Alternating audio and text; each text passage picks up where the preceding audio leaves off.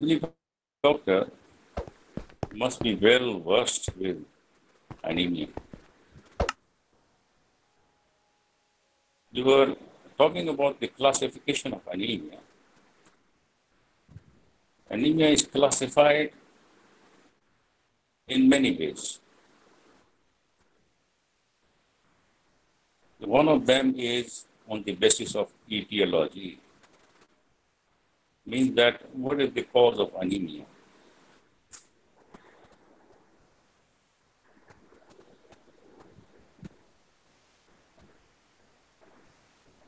Anemia means decreased hemoglobin means that either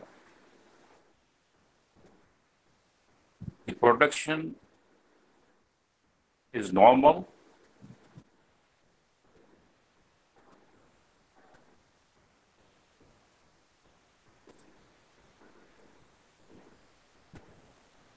when the RBCs they come into circulation, they have normal 120 days life and the concentration of hemoglobin within RBC is normal, it means the person is normal. The one reason that you have anemia is that the RBCs do not stay in the circulation for 120 days. The last time I told you they do not stay in circulation for 120 days because the RBCs are lost due to trauma. And I told you that this loss of RBCs, which is called hemorrhage, it is acute hemorrhage or it is chronic hemorrhage.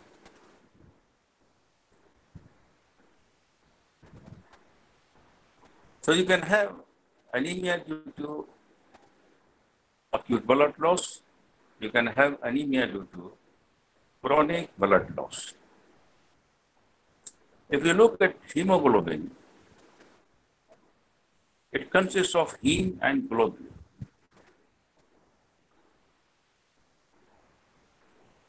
If the building material of hemoglobin is not available to the body, or it is not synthesized, or the building material of hemoglobin, one of the component, is deficient in your body, you are going to have less hemoglobin. And the most important building material in the synthesis of hemoglobin are iron.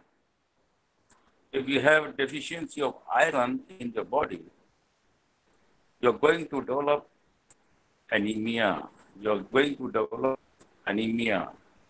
Less hemoglobin will be formed, which we discussed last time.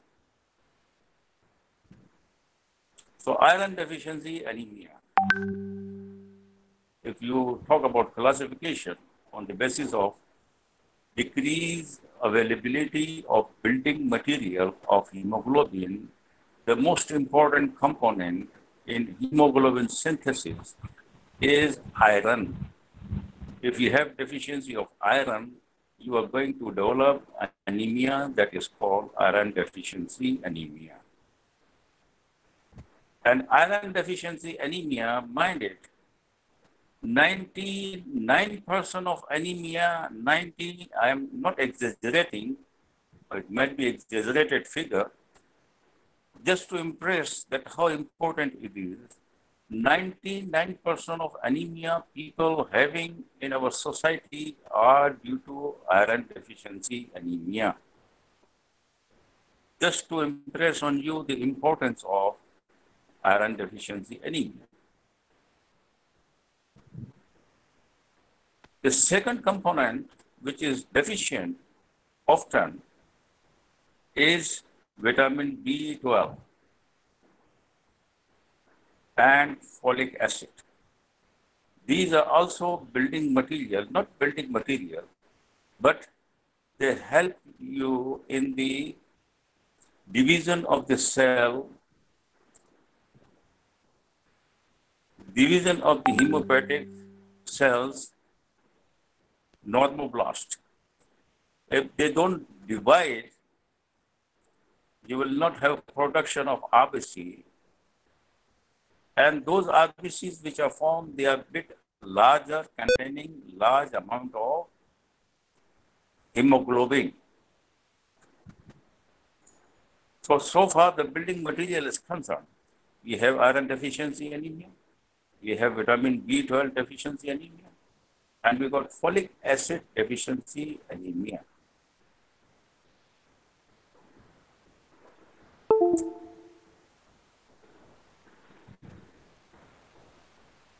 We can have anemia not because of deficiency of this building material.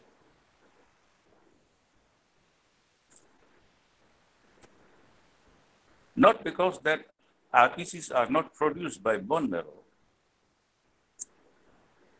but you have anemia because the RBCs, when they come into circulation, they do not achieve full life of 120 days. They get destroyed in circulation before they achieve 120 days full life.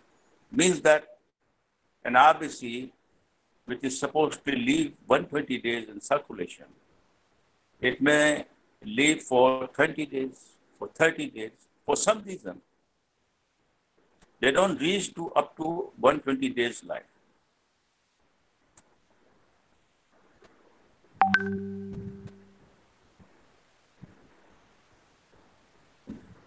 It is because they are broken down. And normally, of course, once a cell, normal RBC, achieves 120 days life, it is broken down. It is recycled. It is broken down in reticuloendothelial system. If you see the normal physiology, normal function of the blood, and you look at RBCs, once the RBCs come into circulation, they are called reticulocyte. A name given to RBC which is coming into circulation is called reticulocyte, which remains for one or two days and then it becomes mature RBC. And afterward, this RBC will live 120 days into circulation. And after 120 days, it will be trapped, it will be trapped into reticuloendothelial system, which is found in spleen, in liver, in lymph node. But the main area of reticuloendothelial system is found in spleen. They are nothing but macrophages. They are nothing but macrophages. So these old RBCs are trapped by or phagocytosed by these reticuloendothelial cells. They break the RBC. Hemoglobin is released in macrophages. Hemoglobin, hemoglobin then splits into heme part and globin part. Globin part is further recycled into amino acid by action of enzyme. And heme part, the iron is separated with the formation of bilirubin. Iron is stored and used for further formation of hemoglobin for the next uh, in bone marrow. And bilirubin is released into circulation, then it is taken to the liver. Here, this bilirubin is conjugated and then it is excreted through the bile duct. So this is a brief cycle of the how an RBC which is broken down is recycled. But it will only happen when an RBC has achieved 120 days life. If RBC is broken before 120 days, you can imagine that you're going to have decreased number of RBC. In turn, you're going to have anemia. And this is called hemolytic anemia. Hemolytic anemia. Hemolytic anemia means anemia due to premature premature rupture of RBC or premature lysis of RBC.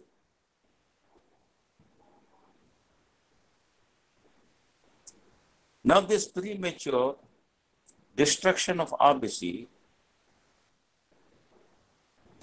will result into a decrease in number of RBC in your circulation. And of course, either you have less hemoglobin in RBC or you have normal hemoglobin in RBC but decrease in number of RBC. In both conditions, you're going to have decreased concentration of RBC, decreased concentration of hemoglobin means that you are going to develop anemia. But here, because of destruction of RBC, this is called hemolytic anemia. Hemolytic anemia, if destruction of RBC occurs in circulation, if destruction of RBC occurs in circulation, it is called intravascular hemolysis. And if destruction of RBC occurs not in circulation, but in reticuloendothelial cells, which are found plenty of them in spleen and in liver. It is called extravascular hemolysis. Again, I repeat, hemolysis of premature, hemolysis of RBC occurs when it occurs in circulation, it is called intravascular hemolysis. When it occurs in reticuloendothelial cells, in spleen, it is called extravascular hemolysis. This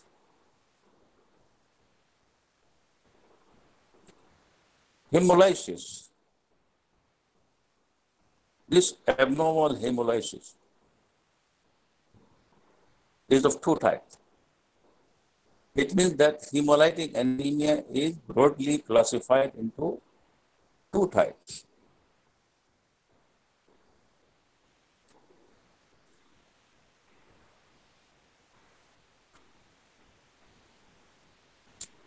If it, it is a result of, if this hemolysis this premature hemolysis is the result of a disease which is an acquired disease, which is an acquired disease. We'll talk about later on what are those acquired disease. It is called acquired hemolytic anemia. For example, malaria is a disease. If you look at the malarial cycle, you will find that RBCs are broken down when merozoites, malarial merozoites are released from RBC. Malaria is a disease. As a result of malaria, RBCs are broken down as a part of pathogenesis this is also called hemolytic. It is going to complicate into hemolytic anemia. This is called acquired.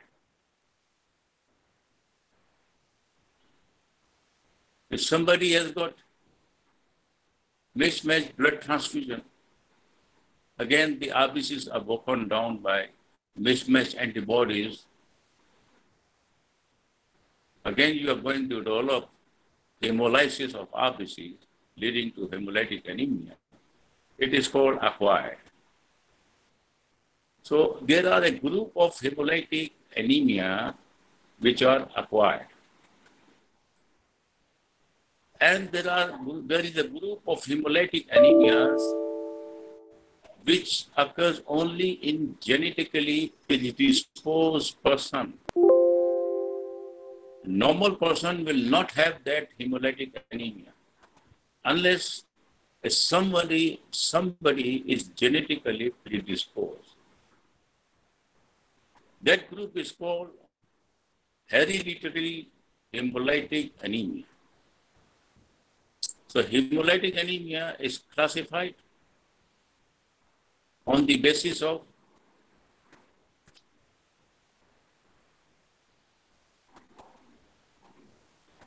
whether it is acquired hemolytic anemia or they are hereditary hemolytic anemia. If you go through your books, you will have number of diseases in acquired hemolytic anemia, number of diseases where you have acquired hemolytic anemia. I just mentioned you one of the disease called malaria. In malaria, you have acquired hemolytic anemia. If somebody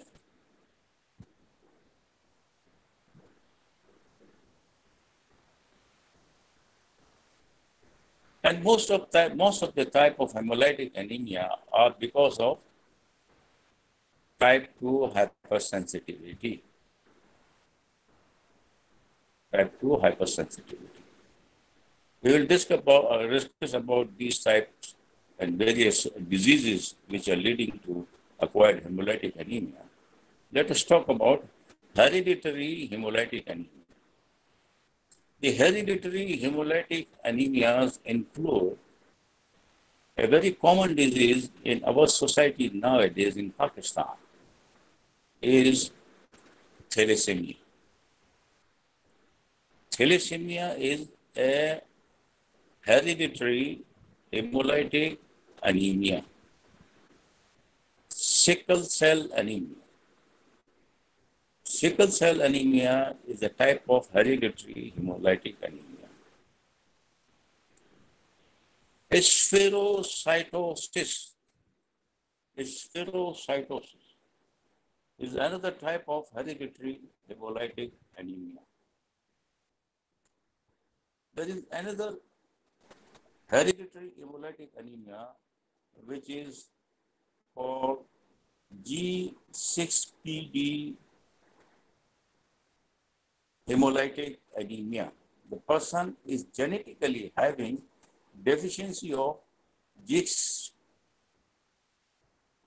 G6PD deficiency. So the four, it includes four diseases in hemolytic anemia.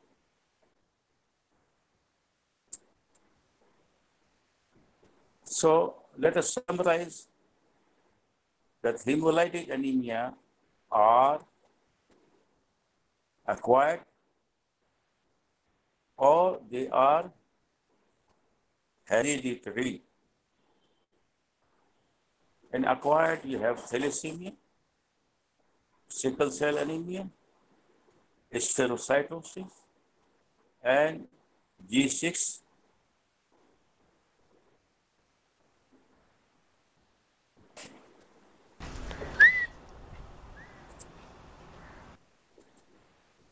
deficiency. Another group of anemia in classification, beside hemolytic anemia, say the person does not have hemolysis, still he has got anemia. It means that the bone marrow where the RBCs, RBCs are produced, the bone marrow is not producing RBCs. Production of RBC is stopped in bone marrow. This is one of the cause of anemia. If RBCs are not produced, you will have less number of RBCs in circulation. And in turn, you are going to have anemia. Decreased production of RBCs from bone marrow.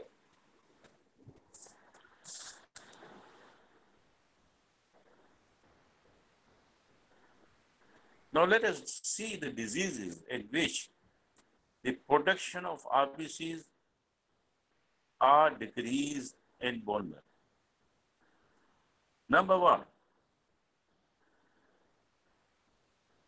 the hormone erythropoietin factor, which is released from kidney. This hormone stimulates the RBC production. If you do not have this hormone, erythropoietin factor, your bone marrow will be suppressed. And in turn, you're going, going to have anemia. This hormone is produced in kidney. So anybody who has got chronic renal failure, his both kidneys are not functioning. A chronic renal failure, you will find many patients in hospitals. Chronic renal failure patient is not going to release erythropoietin factor. So they are going to develop anemia because there is increase, decreased production of RBC. Number two, bone marrow is not producing RBC because it is encroached, it is occupied by what? It is occupied by malignant tissue.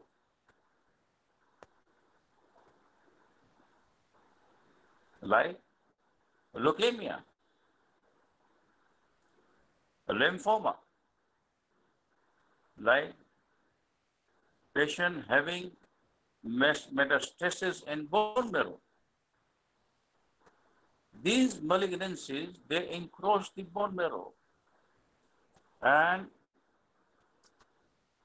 suppress the or replace the early, early precursors of RBC cell.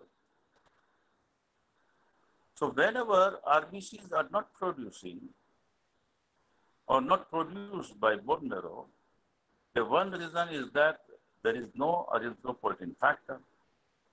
Another reason is that the bone marrow is encroached by malignant seeds. We'll later talk about the malignancies of the white blood cell, leukemia, lymphoma, or malignancy anywhere in the body has metastasized into the bone marrow. So this is the reason the person is not having, uh, uh, this is the reason the person is having anemia. Number three, beside a less erythropoietin factor, beside the bone marrow is occupied by malignancies, the third reason for having bone marrow suppression is the side effect of drugs. The side effect of the drugs. There are many drugs commonly used, commonly used, which are going to suppress your bone marrow. You keep it in mind. The commonest drugs which are used in our medical field are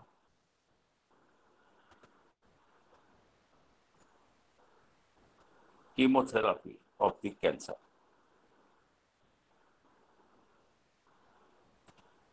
Chemotherapy of the cancer.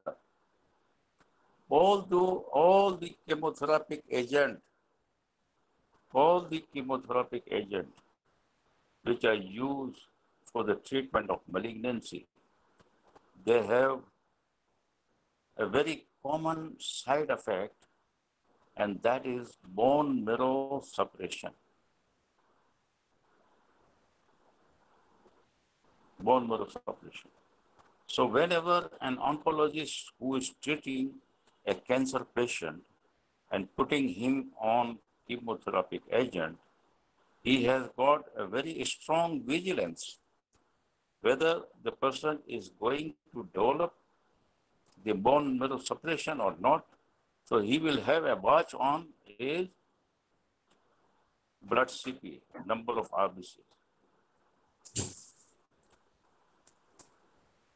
The other common drugs which are having effect on bone marrow are antibiotics. Antibiotics. The other common drugs which are having effect on bone marrow and they suppress bone marrow are analgesic. Analgesics. One has to be very careful when you are, they are using analgesic. They have to have a watch on this side effect that it is going to suppress the bone marrow. Besides that, radiation, it is also going to cause bone marrow suppression. Besides that, there are many infectious agents, especially virus, like dengue virus, or most of the time. The viral diseases, they have some element of bone marrow suppression, milder or severe, but it is noticed more in dengue virus infection. Even in malaria, which causes hemolytic anemia, acquired hemolytic anemia, it is having an unexplained effect on the bone marrow. It causes bone marrow suppression. So let us summarize the bone marrow suppression or decreased production of RBC results from number one, encroachment of the bone marrow by malignancy. Number two, the drugs effects like chemotherapeutic agent, like antibiotic, like analgesic drugs, radiation. Besides that, you have certain systemic viral infection like dengue fever.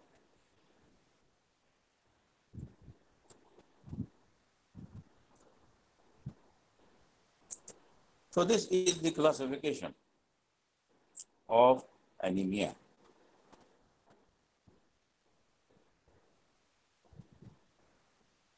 And you will find this classification in any book. It's not a big deal. It's not a big deal. You can study all of these diseases in the books. But the most important thing which I understand as a doctor, as a new nascent doctor, what I understand that you must realize that this is very common phenomena. Number one. Number two, that anemia is not a disease. Anemia is not a disease, not at all. It is the result of a disease. If anemia is a disease, then it's very simple that you just replace the blood. Very simple. It's not a disease. It is the result of a disease. If, for example, somebody has got, somebody has got malaria, malaria is a disease. And as a malaria, the person develops anemia. For example, somebody has got chronic malaria, he will present to you with severe anemia. But you have to know that what is the cause of anemia? this anemia itself is not a disease. It is the complication or after effect of a disease. So as a doctor, when you see a patient of anemia, first of all, you appreciate clinically how anemia looks like. That is matter of practice. Once you think that it is anemia, you document it by asking a simple investigation. That is blood CP, complete blood picture, where there are around 10 parameters. If you look at blood CP picture, if you look at blood CP report, there are around 10 parameters, more than 10 parameters. Those 10 parameters will guide you what is the cause of anemia, number two. Once you determine that it is anemia by looking at decreased concentration of hemoglobin, then you decide what is the cause of anemia. Now you look at the classification. But before that, you just recall your knowledge. What is the commonest cause of anemia? Now, this exercise is called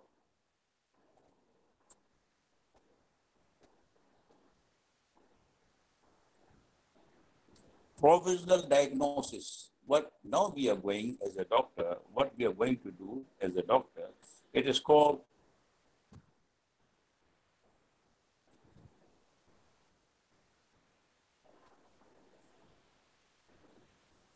provisional diagnosis. And it is only possible that you have a background of the knowledge, plus you have a good clinical sense, plus you have a very logical, you are able to uh, relate things together. In iron deficiency anemia, you will have decreased hemoglobin But you look at the other parameters, you will find that the RBCs are very small. They are macrocytic. When you look at the color of RBC, you will find that they are hypochromic. Once you find these two parameters abnormal, you always think of iron deficiency anemia. But there is another disease which is also commonly found in our society that is called thalassemia. It will give you exactly same picture. If you take the blood CP of a person having anemia, the picture of iron deficiency anemia and the picture of thalassemia is more or less same. Now here you have to decide whether it is iron deficiency anemia or thalassemia. Then you ask for some other investigation which will determine whether it is iron deficiency or it is thalassemia you ask for serum iron level. It is always low in iron deficiency, of course. In thalassemia, it is higher. It means that it is not iron deficiency anemia, it is thalassemia. Once you decide it is iron deficiency anemia because serum level is low, then it is not enough. Still, it is not enough. You have just established that it is iron deficiency anemia. Now you cause you, you you think of the causes. What are the causes of iron deficiency? It is not enough. Is it because of the decreased intake of iron? Number one, because you are going to treat a patient.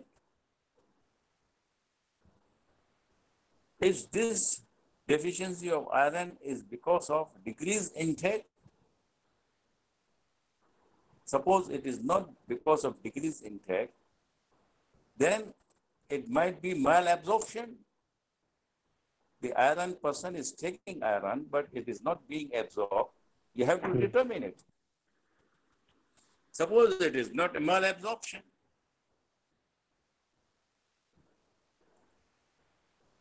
Then what is the reason? Person is taking iron, person does not have malabsorption syndrome, then you think of some other causes where iron is lost.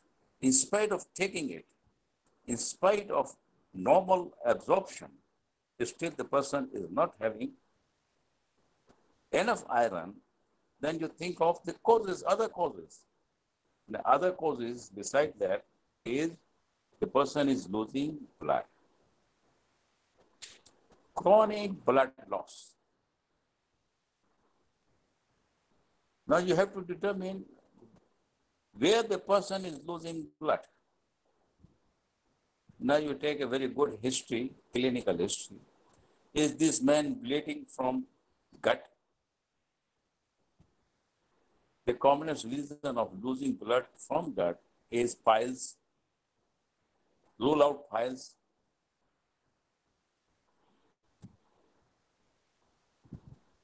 Is this man having a malignancy which is losing blood? You ask for some other investigations. Is this man having hematuria? You have to take a good history. Then you come to know that the poor man has got renal stones. And because of renal stone, he is bleeding. There are some other causes of hematuria, multiple causes of hematuria, of course. But you have to reach to a disease which is leading to iron deficiency, anemia. If it, she happens to be a female, if she is a young female, then you take a proper history of menstrual cycle. If she is an old lady, then you think of certain gynecological problems, especially prolapse of uterus. Often in old age, people have prolapse of uterus and they do bleed.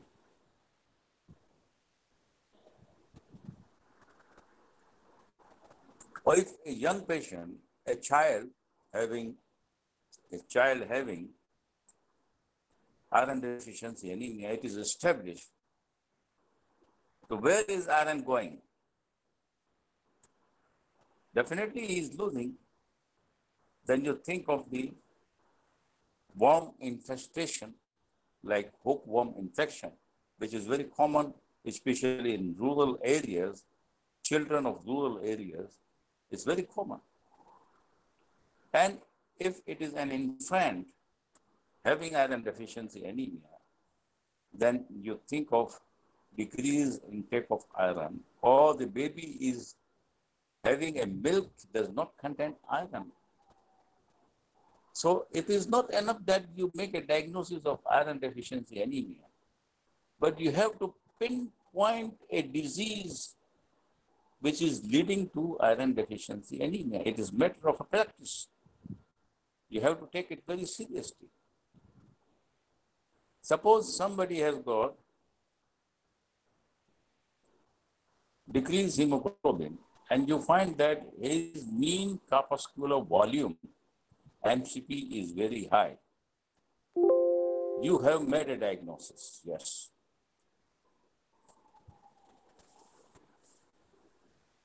That it is macrocytic anemia and macrocytic anemia is because of vitamin B12 deficiency or because of folic acid deficiency. Simple blood CPE report will determine the person has got macrocytic anemia. not iron deficiency anemia, not thalassemia. Sir, it is macrocytic anemia. Sir, it is because of either vitamin B12 deficiency or because of folic acid deficiency. Now the question is, what is the cause of vitamin B12 deficiency or folic acid deficiency? You have to determine the cause. If somebody has got B12 deficiency,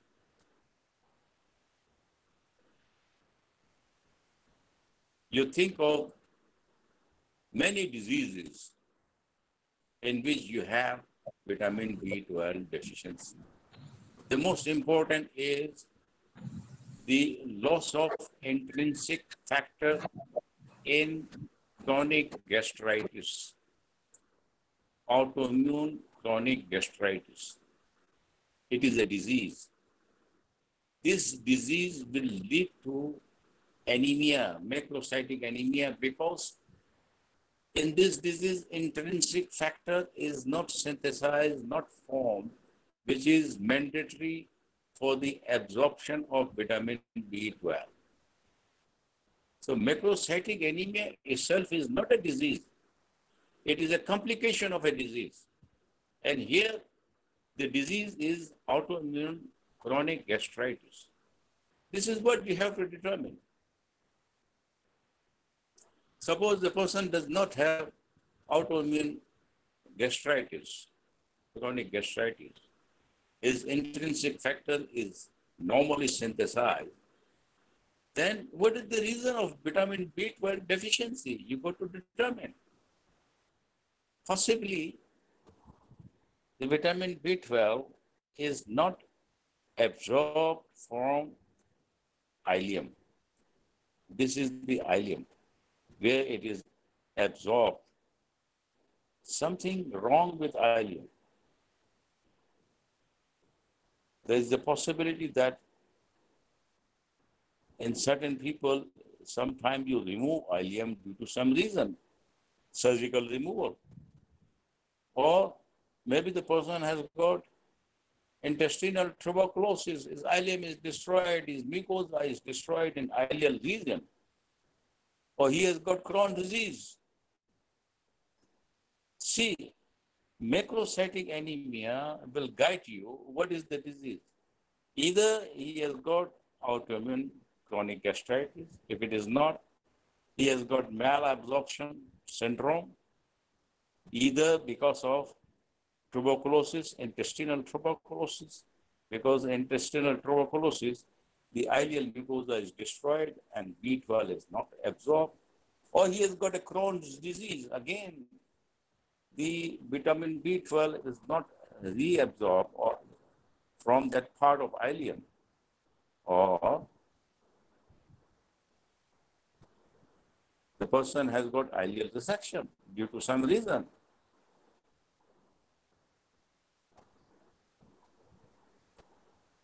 So this is the way you approach and you make a diagnosis because your aim is to treat a patient. Your aim is to treat a patient. Somebody has got folic acid deficiency, the commonest reason in our society having folic acid deficiency is in pregnancy. In pregnancy, the requirement of folic acid is decreased, increase, increase and often the pregnant women, they develop macrocytic anemia because of folic acid deficiency. So as a part of antenatal care, if you go to the gynae ward, you will often see that they are being prescribed folic acid routinely. It is just to avoid that they may develop folic acid deficiency. If somebody has got malignancy, extensive malignancy in the body, where the where the you have rapid turnover, rapid, uh, rapid proliferation of the cell. Again, in such people, having people having malignancy like leukemia, lymphoma, they all often they develop the folic acid deficiency, and they may present with macrocytic anemia.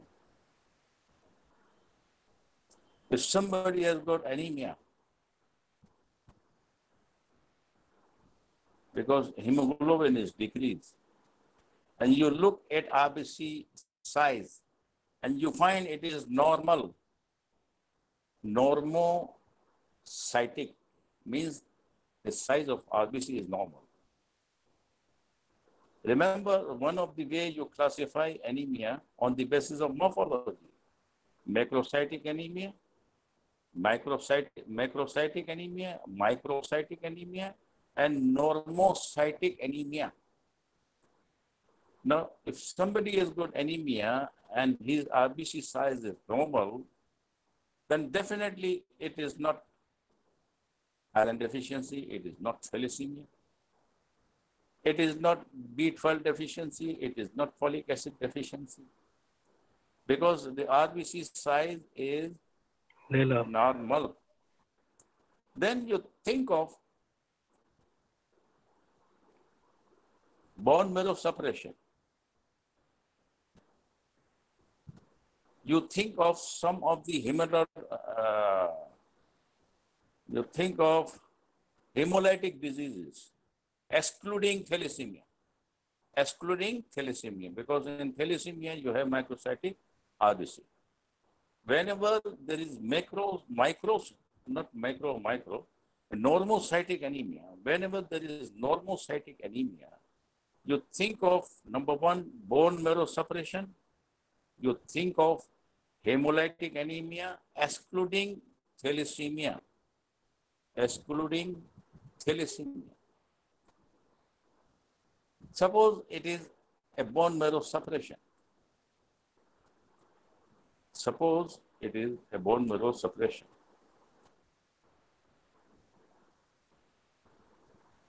And you want to confirm it is bone marrow suppression, you look at number of RBCs. If you see the parameter of blood CP,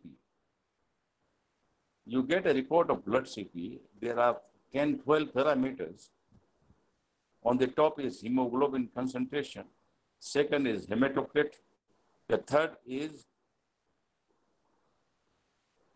uh, size of RBC, size of RBC, and number of RBCs. If you look at number of RBCs, they are always below normal in bone marrow suppression. RBC size is normal, but number of RBCs are decreased. Normally, they are around 3.5 to 4.5 million per cubic millimeter. In case of bone marrow suppression, hemoglobin is low, the RBC size is normal. It is called normocytic anemia. And you look at number of RBCs, they are decreased. That indicates that it is bone marrow suppression. Now, if you look at number of WBCs, they are also decreased. If you look at the number of platelets, they are also decreased.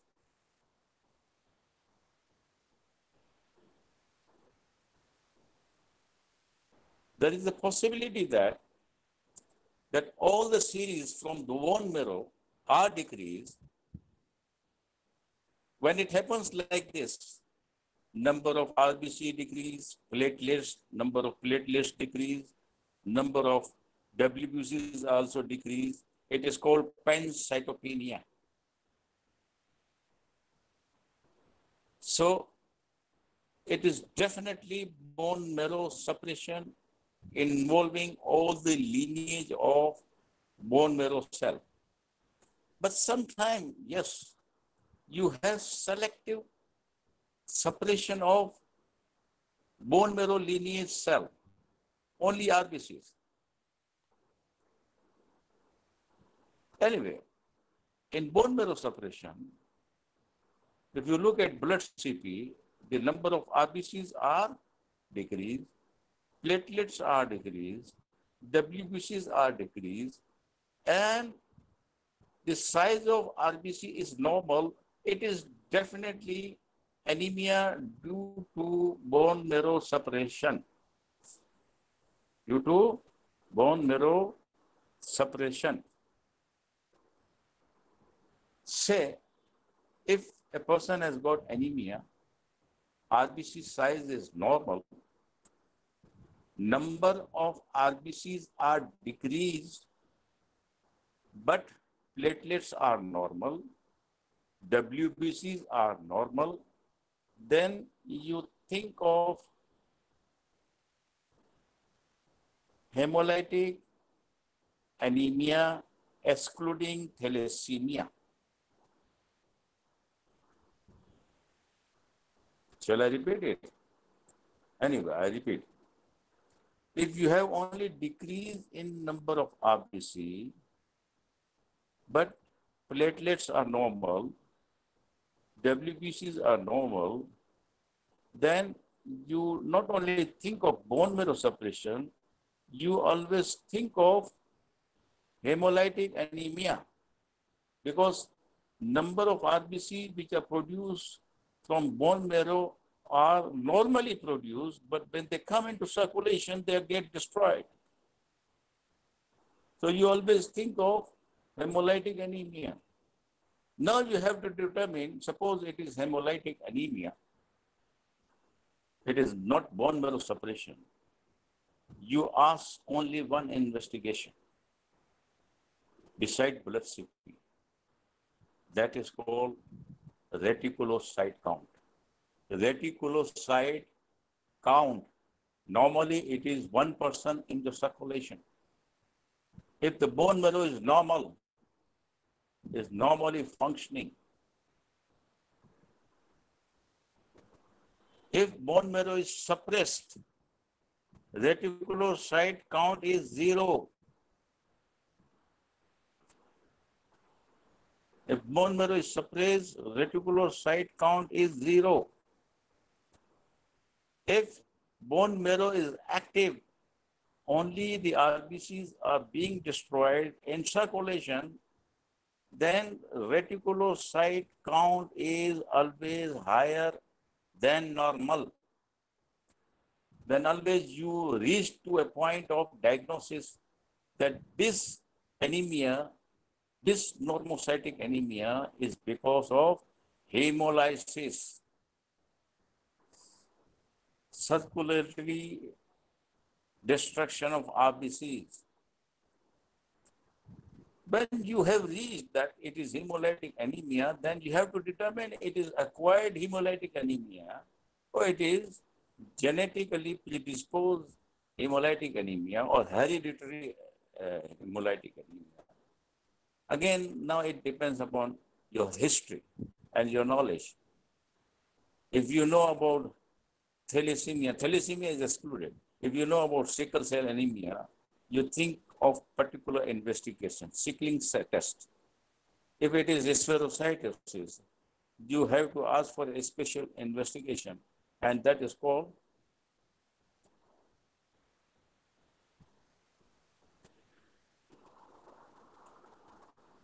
uh, I will tell you later on, but in that test, we see the osmolar fragility of RBC.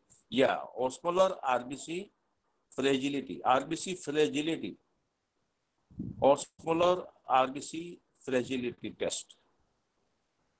If you think that is it is it is uh, glucose 6 phosphate dehydrogenase deficiency, then you ask for this enzyme level it is always deficient. So this is the way you reach to a diagnosis. I think the time is almost seven. And you have any queries, you can always ask by writing.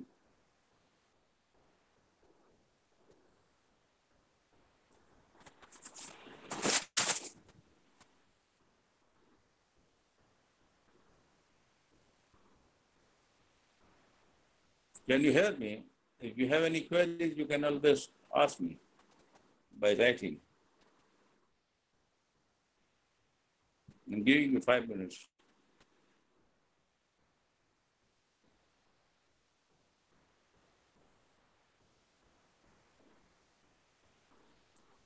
If only one of you interested to ask question, I can always open my mic. Uh,